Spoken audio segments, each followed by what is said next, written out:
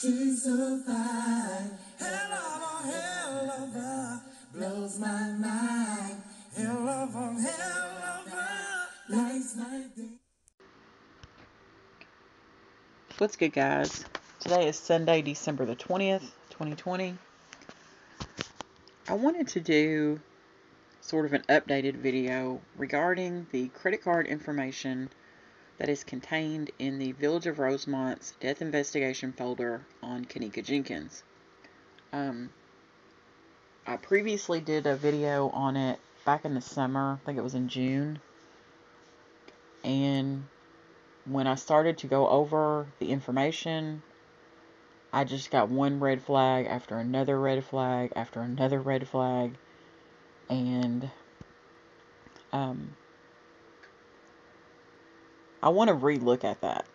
Let's revisit that um, so that, because I was doing a lot of it as I was doing the video, but now that I've done a lot of the legwork on the front end, let's take a better look at it um, so that you can understand why it's throwing such red flags to me.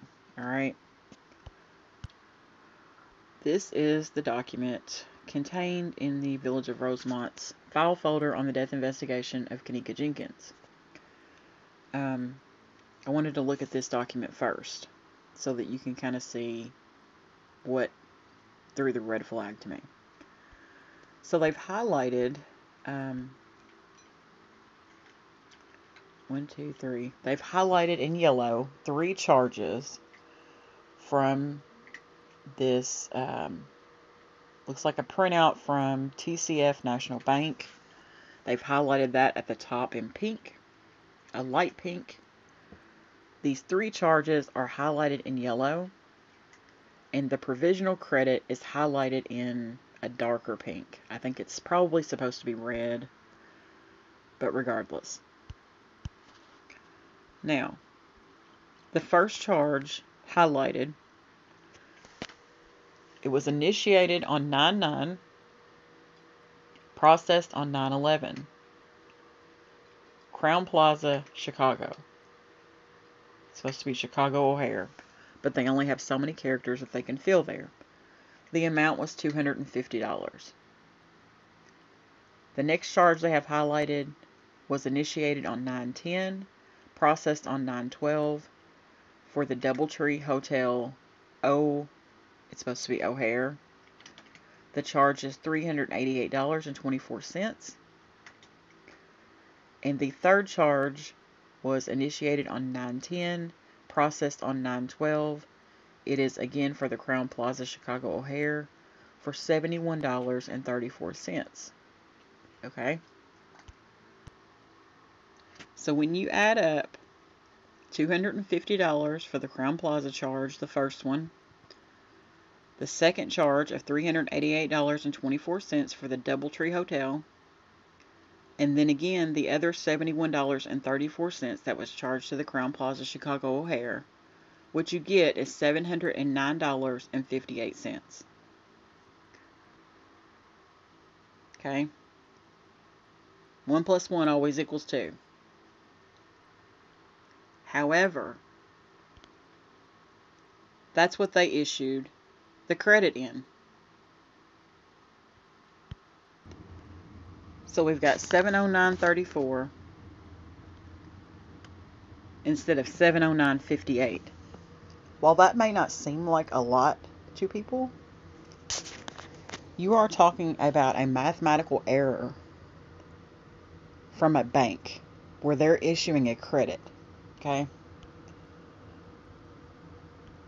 That's a difference of 24 cents. So they shorted him 24 cents on this provisional credit. That doesn't make any sense to me. That is a huge red flag. As I explained in my previous video, um, I worked for more years than I care to recall for an attorney's office downtown where I live. Um, there were two attorneys in the office. One was a practicing attorney, the other was semi retired and would come in one day a week to handle his personal affairs. Um, and by personal affairs, I mean we traded stocks, uh, we handled mutual funds. We meaning me and him. Um, he had nine over nine million dollars when he passed away, and I managed that money down to the penny. I never once made a mistake with his bank account, nor did the bank. Okay. So, that's why I know that um, I, I'm just very familiar with financial financial institutions and how they operate, and um, somebody either didn't check the math here, um, the paperwork is bogus, which is what I'm leaning towards.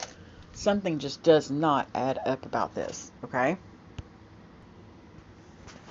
So I, I did a screenshot of this uh, paperwork because it's hard to maneuver around with it the way it is in the file. So I just did a screenshot.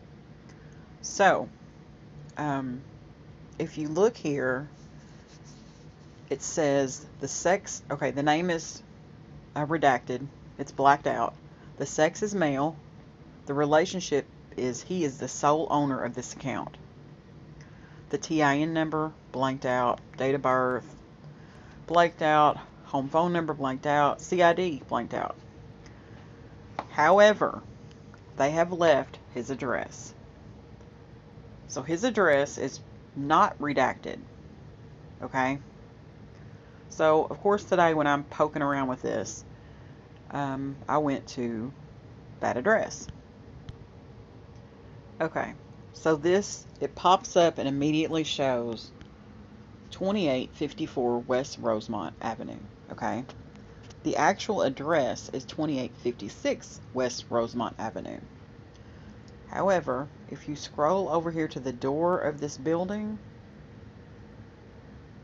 the door says 2856 2854, okay?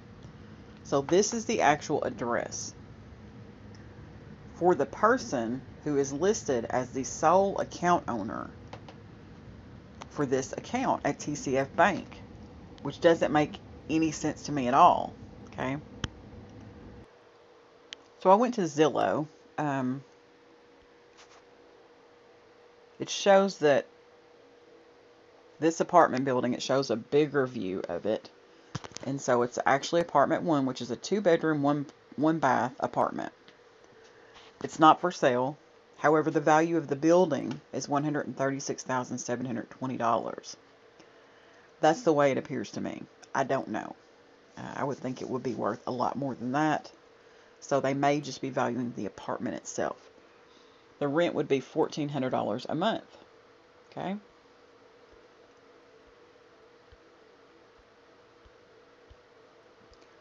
Don't think there's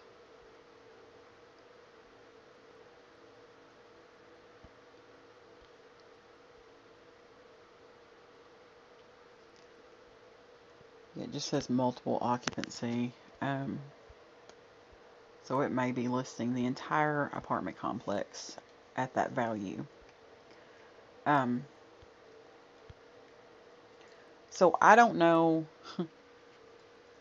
where that address came from. Um, other than it's the owner of this account, which is so strange to me. And again, you can see it listed right here on this paperwork. It's a DDA slash savings general account screen is what this is. All right. They opened the account on July the 25th, 2014. So at the time of this, this account was a little over three years old. All right. Uh,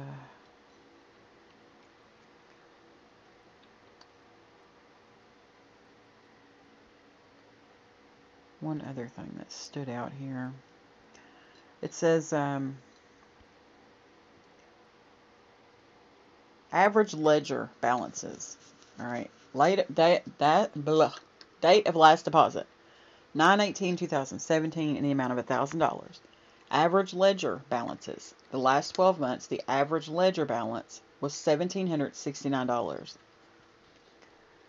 Number of non-sufficient funds charged or slash UNC charged in the last 12 months. Nine, restricted, non sufficient funds, uncollected. It doesn't list anything else there. Now, we get to the interesting part. This is a letter from TCF Bank. And again, I did a screenshot of it so that I could just maneuver around on the page and make it bigger. It says September the 14th, 2017 is the date. Uh, the name and address are redacted, as you would expect them to be. Regarding your debit card fraud case, file number 721954 reported on September the 8th, 2017. That's interesting to me.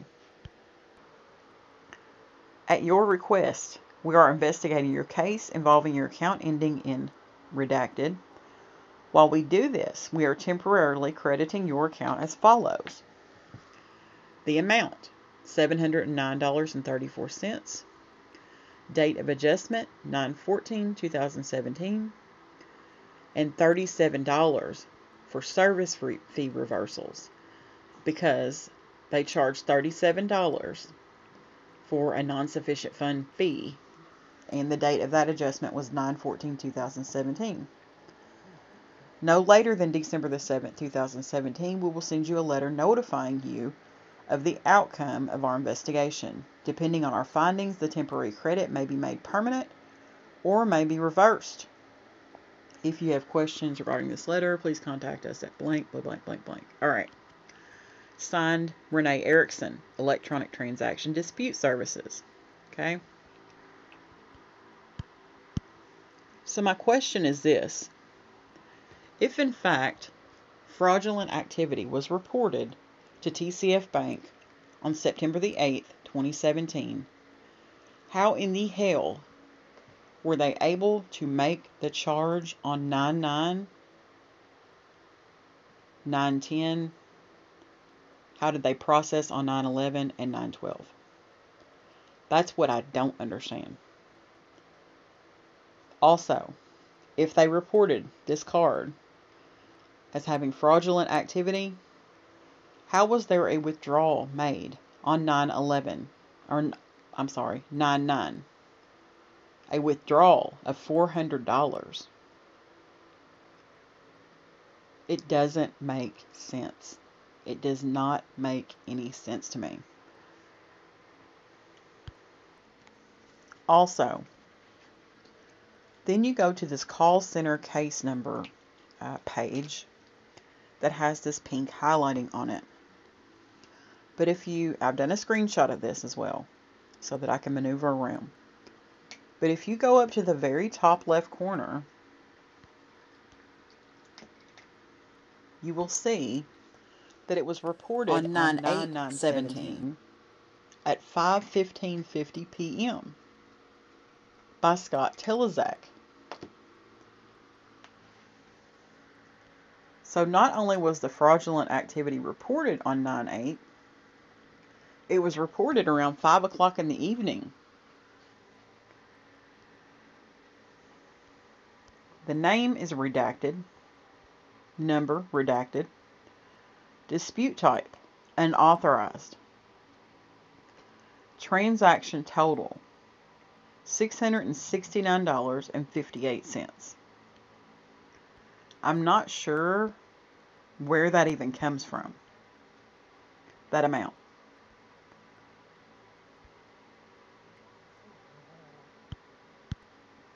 Okay, I see where it comes from, but it's but it's wrong.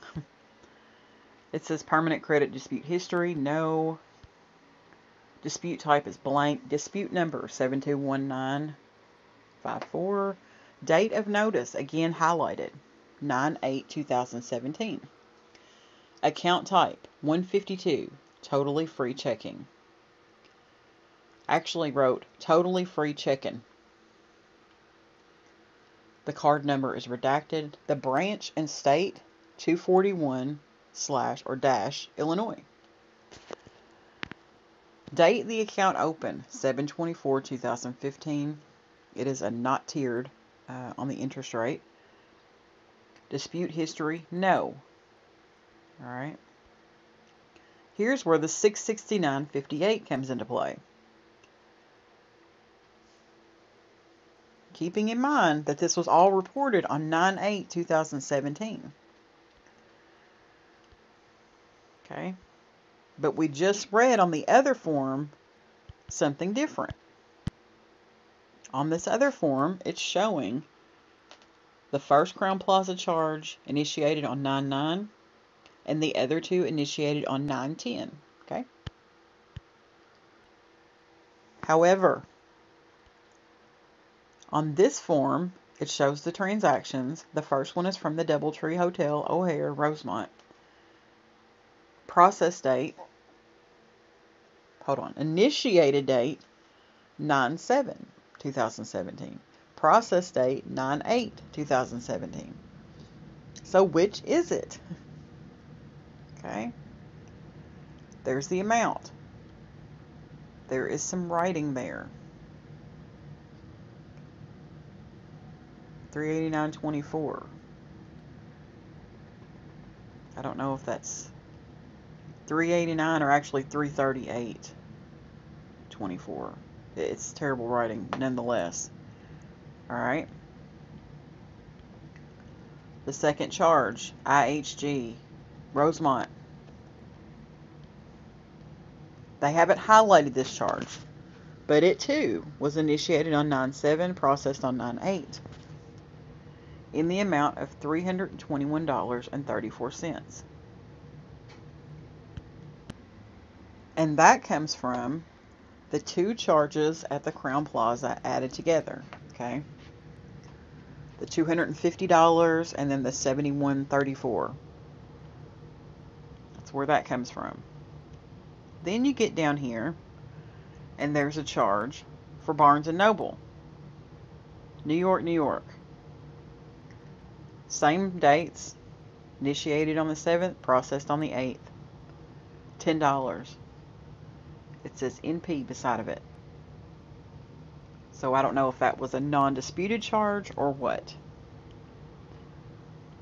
Alright.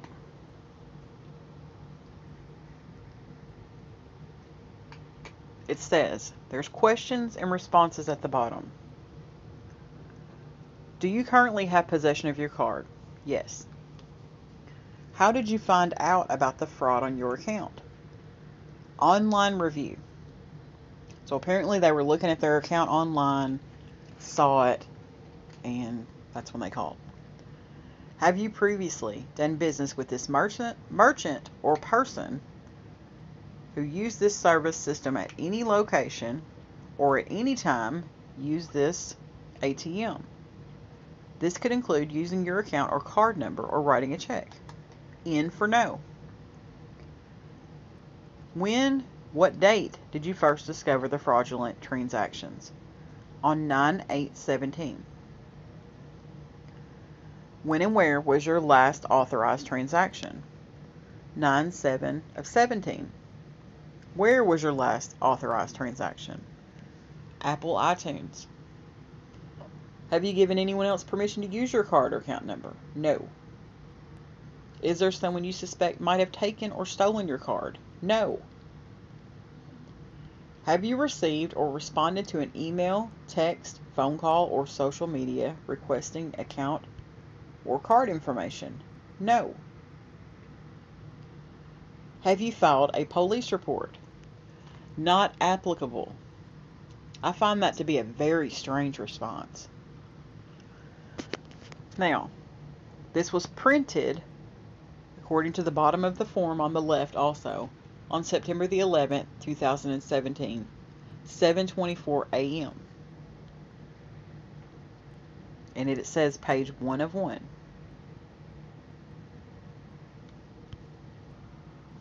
Then they've included this transaction list in the case file.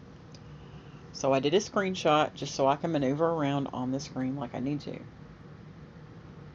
So if they're saying their last authorized charged charge was Apple iTunes, we see it right there. It says 9-8-2017. In the date, it just says plainly date. The next charge, because you're going from the bottom to the top, would be a pay lease, web payments, lease or a loan, in the amount of 95 cents. I don't know what that's for, but that's a strange one.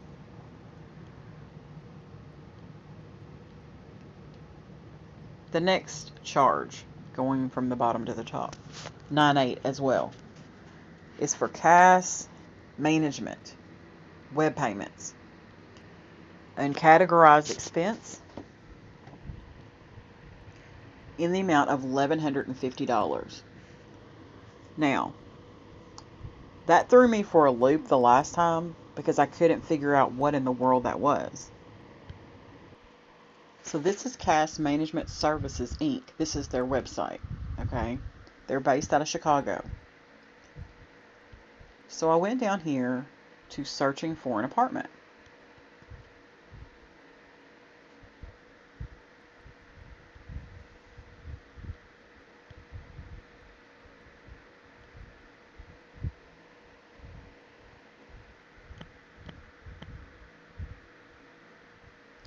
Trying to find something on Rosemont Street.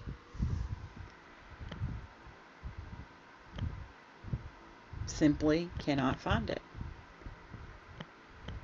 Typing in, you know, the numeric on the street here, nothing, no matching listings found. Let's just search Illinois, Chicago, Illinois. The only thing it pulls up is Lakeshore Drive. Let's just try all and see if that helps. Alright, that did a little better. Ridgeland, Cullum, Michigan, North Park, Huron, North Park.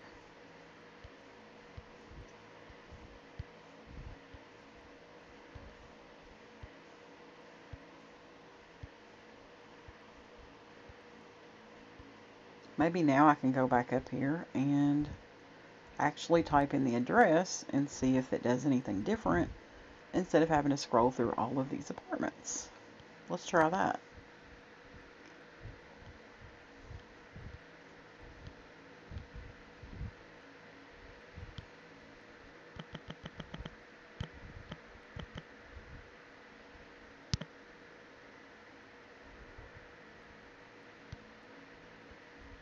Hmm. It just simply will not pull it up. Um, I'm up to April of 2021. So this site's not really that helpful. Um, I'm just, I was just assuming that maybe um, this CAS management payment was for this person's rent and that maybe it was a uh, an automatic pay payment that came out on that date every single month. I'm, I'm taking a big leap trying to say that. We'll, we'll get back to this. So if we know from the other papers that these charges were initiated on the 8th or the 9th it's got both dates listed. It's got the 7th listed on another one. On this paper, it's showing the 11th and 12th for those charges. So that's even more interesting. Because we know it's truly not those days. Those are the days they were processed. So, this transfer from, and there's an account number, it says transfer between accounts for $1,000. I mean, was that something that someone else did or was that something that the account owner did? And then you have the withdrawal for 400. Was that something that the account owner did or was that something that was done fraudulently? You have the purchase at Jewel for food. 130 79 cents. You see where I'm going with this? It's just a little strange, okay? A little bit strange.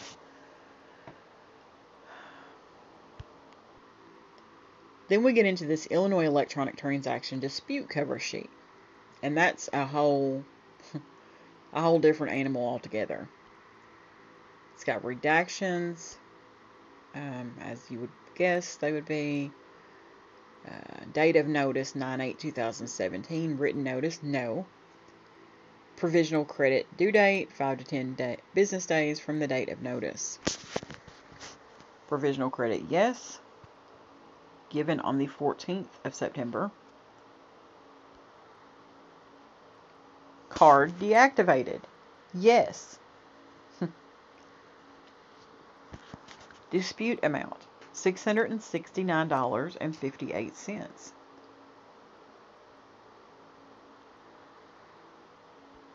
Branch number 241. Now, that branch number, I'll play the call where I called and actually figured out um, from the lady on the phone that that branch number is in Evanston, Illinois, which is nowhere near this. Nowhere near this. It shows the service charge of $37 on here. But what is so crazy about this form is that there are so, literally, so many misspellings on this form coming from a financial institution that I'm just not buying it. I'm sorry, I'm just not buying it. One would think that this Illinois electronic transaction discover, dispute cover sheet is a pre-printed form or at least a form that is saved in the computer system um, that can be typed on, sort of like an, an Adobe PDF file that you can actually fill in the blanks on. Um,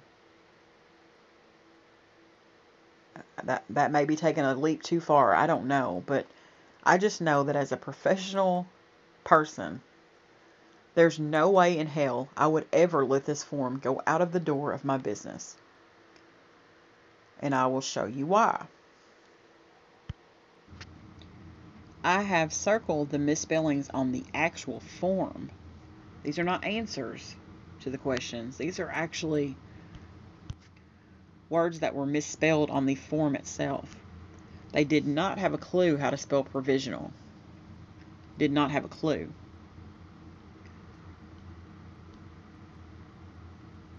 Didn't know how to spell the word assessed either. A bank. Now, at the bottom, it says Additional trans or manual setup 912 2017 KN. Entry mode 06 ECI 07. Card not L slash S. No declines. Card deactivated. No priors. No fees. Customer since 3 of 2013. a little strange there. Um, they could have had a different type of account, but it just is a little strange. Because I know when I set up my checking account, um, the date my account opened is the date I became a customer at that bank. So they would be the same dates. So this person must have had some type of other account with them. Customer rating 6 issuing provisional credit in the amount of $709.34 instead of $709.58. Send to CLR 914 2017 NWJ. It says loss type CFT, and it's hard to see through that part, but it says Rosemont, Illinois. All right. So just the form itself is suspicious to me because I have never known a bank to send out anything that looked this ridiculous, okay? Then go back to the call center case number uh, document, and the bottom of it has misspellings as well. they've misspelled authorized on here. And this is in the questions and responses section. It goes from 1, it's numbered, 1, 2, 2 underscore 1, 3, 4, 4 underscore 1, 7, 9, 10, and 11. I find that to be very strange. Why would they remove questions from a form? You would normally just put an NA and go on about your business. But no, not in this case. And a 2 underscore 1, a 4 underscore 1, why wouldn't you just put 2.1 or make that question 3? Or make that question 5? See what I'm saying? Very, very strange. Very strange. Very strange document. And this came from the bank, TCF Bank. Okay, when you call the 800 number to TCF Bank, you get the call center.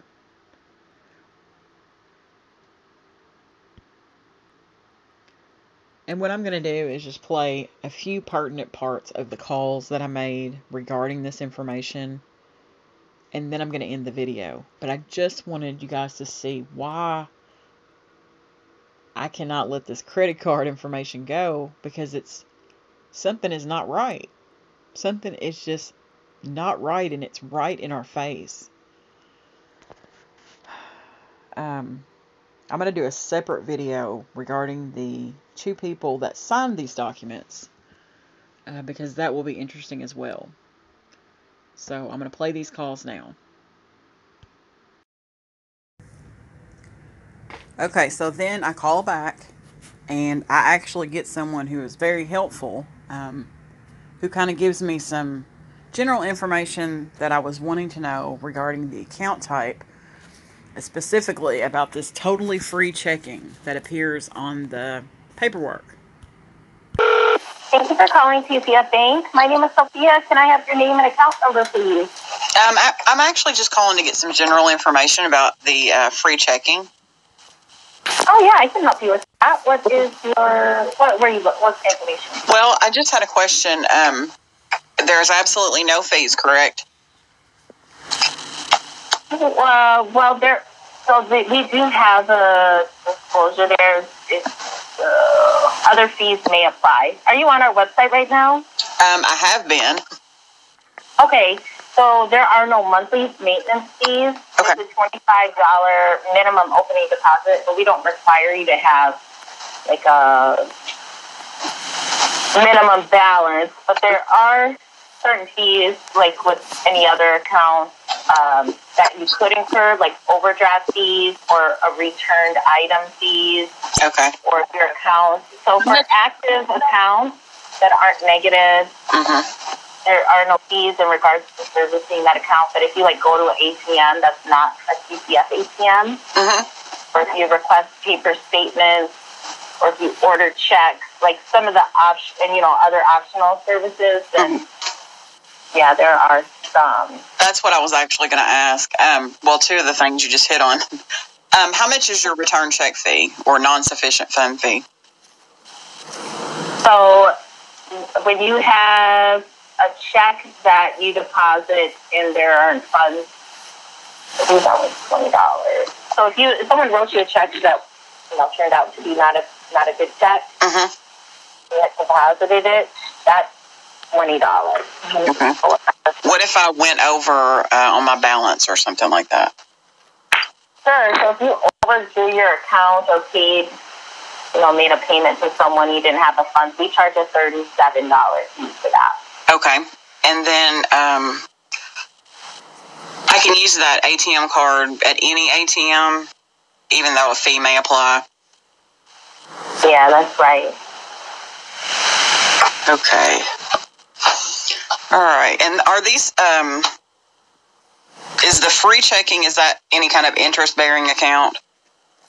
No, that one does not. Okay. And I'm trying to think if I have any more questions. Uh, let's see. Um, I know a good common question. Uh, what ha- what would happen if, say, because you never know, if my debit card, if somebody got the number, what what would happen then? How would you guys handle that? if I had like a lost or stolen or even fraudulent charges? How do you guys handle those? We would do a dispute, so that's an investigation of the charges. Okay. Um, we would cancel your card to prevent any further Okay. Okay. All right. So you would cancel the card and we would do a dispute and go from there. Mm-hmm. Yeah. Okay. Well, that's all I have. Okay, dear. Um, if you think of anything else, feel free to give us a call. Or Okay. you can visit our website. Um, there's a lot of information there. Well, I do have one more thing. If you guys, Oh, yeah. if we did do like say that did happen, um, obviously I've had this happen to me in the past. That's why I'm asking. Um, Yeah. Would that be handled in house, or do you have like a call center that you guys go through, or how does that work? Where's the call? You have a call center. Okay. This is us. You would just call us, the same number, and we would help you here. You could go to a branch. You know, hopefully they'll be open soon, where you can just walk in there freely, like you Right. do, Right. and help you there too. Mm-hmm. Okay. But you do have a call center uh, as well. This is the call center, dear. You're calling it. Oh, You're okay. calling it right now. Good deal. all right. Well, that's it. That's all I got. All right. Well, thanks for giving us a call today. I hope you have a good day. Thanks, you too. So I'm going to end the video here, um, but I am going to do a separate video regarding uh, some more on this credit card fraud case. So thanks for watching. I appreciate it. I know it's lengthy, but it's so worth it because if you follow the money, that's what they always say follow the money. So, um, regardless, you guys have a great day. Thanks for watching. So this is from my previous video, uh, checking out the credit card, quote, fraud case. And I'm just going to play the pertinent parts of the call. Can you transfer me to that um, electronic dispute department? Oh, I'm sorry, ma'am, but we can't be able to do that. So who Uh, can? they're actually not taking phone calls. Okay. Can someone verify that this person is actually a legit person? Because this paperwork has misspellings all over it, and I just find it hard to believe that it is a actual document from a company. And I don't want her to reply back to it if it's not something that is legit. If it's a scam, in other words. Well, actually, ma'am, uh, if you actually have at least the location of the branch that you're looking for, or at least See what I'm talking about? It's a bad language barrier. And it's very frustrating, and it happens often. The zip code, we can be able to track that branch. And if you have a further concern, I could be able to provide you their number for you to be able to make an appointment to them. All it says on this If you have- paperwork, it says uh, by Scott Telezek. I can spell the name, and it says call center case number, and it has a case number, and then it says branch 241 in Illinois.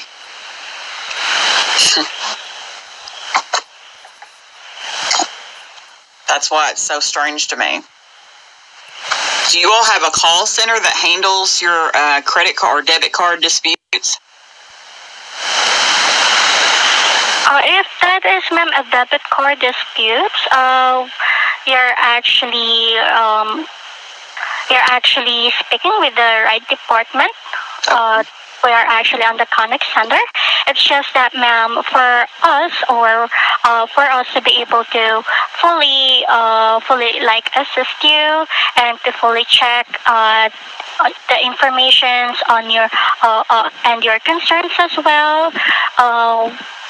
We might actually need to pull up uh, an account if you have an account with us, ma'am, so that we can be able to help you out further.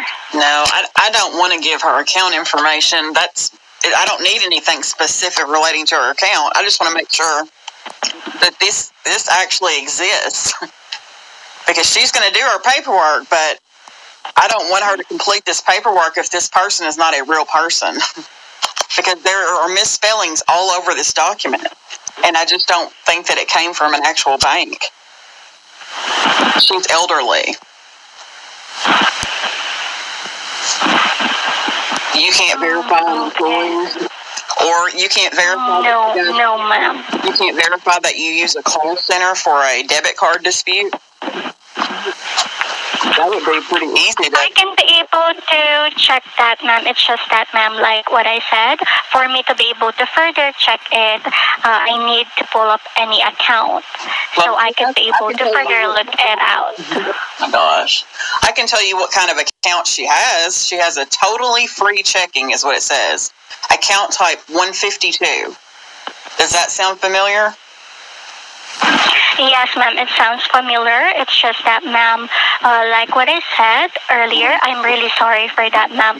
But for me to be able to look it out, Can I speak to someone else, please? I'm sorry. By this point, I'm starting to lose my shit with her. I think there's a barrier. okay, sure, ma'am. Let me just try to transfer you to one of our team leads, okay? Thank Just you. stay on the line. Uh, but may I know as well? Hello? Yes. I Hello, Miss Karen. Uh, hi, ma'am. very Thank you so much, ma'am, for patiently waiting. So I already have here uh, Miss Anansa, one of our team leads. You could be able to talk to her. thank you. Okay? Thank you. Bye-bye. Thank you. This is Nancy, department lead here at TCF Bank. And how are you today? I'm good. How are you? I'm doing well, thank you. I just want to advise before proceeding that the call may be monitored or recorded for quality assurance and training. That's perfect. I understand that the, uh, I'm not speaking with the account holders, but I understand. Is that correct? No, but I have a very simple question. This is so simple. Okay, and I want to help you the best I can um, without an account or card number. It is going to be general, uh, and it, it may not pertain to your situation, so I will do the best that I can. Very simple. Do you know what branch? What branch, would that question be? branch number 241 for TCF Bank? Do you know where that is? It is on paperwork here, and I'm trying to figure out where it is. It says branch state 241 slash Illinois, and I just want to know where that is. Okay, so I understand, that you're seeking information about a branch and wanting to know where it is in Illinois.